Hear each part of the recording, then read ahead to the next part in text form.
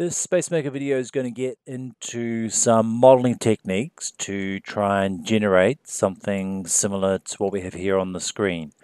Uh, what you will notice is these actually have highlighted edges and that's because I have joined the units. So what's cool here if you want to group or join you can right click, I'll just uh, break up join units and that's what you might see but to get them all as as one I will just select those, make sure I've got them all selected, and then right click and join as one unit. And now you should have them all joined as one unit.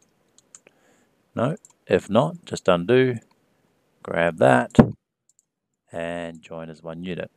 And now we have uh, one singular item which we can move around as as needed. So I'll just go to a clean option here and show you some of the workflows to generate something similar. So I'm going to use a line editor building, keep this pretty simple, go into 2D mode, and I'll just draw a line from point A to point B. So just pretty simple uh, 90, and I'll just finish up uh, there and we now have a linear building building uh, maybe a mini version of the line here. And we'll make this uh, six stories and we'll keep the width at 12 and then the distance we have here which is 16 you know we can crank that up maybe. Um, this is kind of a, a, a helpful tool. We can put that on 4 and we can offset the building. So perhaps to speed things up um, for what we want to do. We can break this up. It's probably not necessary though. We're going to be doing a lot of copy and paste um, to, to do it. But this is just a, a, nice little little starting point here. So once that's done, we can uh, convert that to a polygon building. And then you're going to get the ability to do a couple of things here where you can grab each point or you can grab the face. So I'll just do this slowly. If I want to extrude that face, I'll select on it. You, will notice uh, when I go and select up here, it's grabbing the whole building. Or when I go and grab here, it's just grabbing individual floor plates. So here, if I click it once, this little node will come up and I'll click on it. And if I want to extend it out four meters, I can type four and it will do this, do that. Again, if I choose on this face, if I want to uh, retract it four meters, it will do that as well. So these are just simple little tools for controlling the faces of the geometry.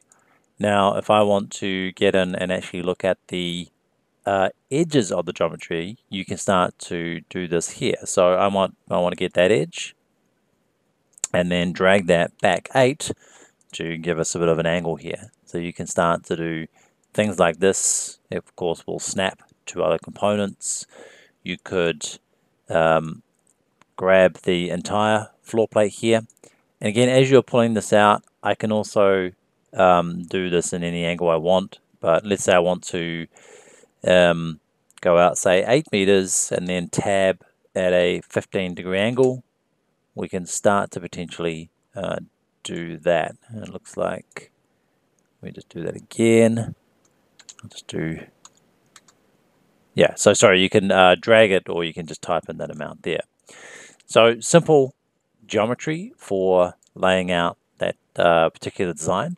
So I'll just get rid of these ones and not the um, building there in the background. Just get rid of that for now. Um, a few other things you can do here. Um, there are potentially um, uh, other tools to divide up. Um, so let's divide up the site. Sorry. Here um, we can start to edit this uh, with this draw wall tool. So here we can start to break this up a little bit should you want to. So there's a couple of tools here. Just got to double click that and then that will bring up your draw wall tool. Is it not liking me? One more time.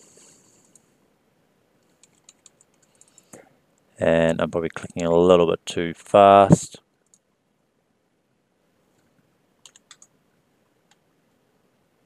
Okay, so that's sort of being a bit more prescriptive. So I haven't got too much into this one, but that that's another feature as well. I need to master that one. Um, getting into what we want to do here for the particular design. So if I just go down to uh, the basics here, sort of do that, that, and that, and then with those selected, um, what I can do is grab the, that edge there for example, with that selected, got to go a little bit slow here. It is Cloud Tech. Make that one 4. And maybe this one here, again, go slow. Bring it out. And I'm just to make sure that that's lining up with the guidelines there. So I've got that. And then now I want to array this around the site. So you can hold down uh, Shift to grab both of them. If you hold down control, it grabs, uh, control tends to grab everything. So if you want to grab them individually, you hold down shift.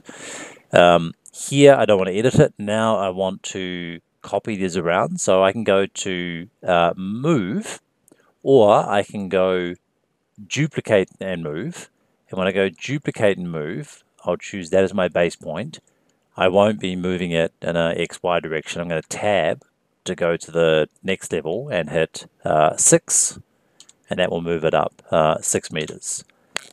Um, there are other tools in there. So you can uh, duplicate and move and there were um, other features. So you've got the um, uh, items above ground level or items above sea level. But um, I haven't really done too much on those. Um, but you know above ground level again might be another 12 and that, that works as well. So that's how you quickly uh, start to do these. And then here I can grab them all, join as one unit, and now I have them uh, grouped. And I can also um, grab these and duplicate and move around the, the site. I could also grab these and going to first of all duplicate and move. And then I can rotate these. So here I can grab that point that point and then bring them around say 180 and of course move these to the the right location on the site.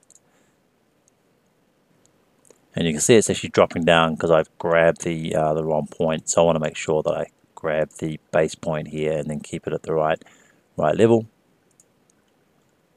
And it might tell me if there's some errors down here with the geometry. I think there was something showing up before that they were crashing in with each other. Um, so that's that's pretty much it. It's pretty basic. Um, one other thing to look at here. Um, let's say I grab um, this bit of geometry and I'll just um, split into stories and I'll just uh, break up join units.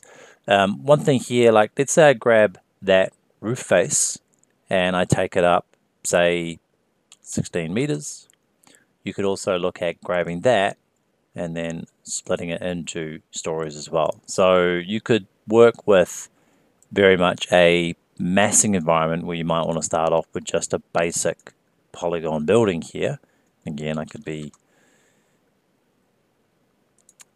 doing you know something like this where I want to be working at an 18 by 18 oops 18 got to finish the command make sure it's looking decent. Here we go square and I'll just keep that as like a, a trapezoid. Now we can work with these ones. I will just leave it at the sea level and you could potentially tab down here and make it six stories. So um, number of tools here. Probably the one I haven't gone into too much today is just, just mastering this draw walls tool. I'll have to have a, look, a little more of a look at it um, and uh, understand it for another tutorial. But um, for anybody wanting to do something interesting inside of uh, SpaceMaker, here's how you can start um, getting into a bit more fidelity with your design. And uh, hopefully, as we develop it, we'll have curves and other interesting shapes to work with.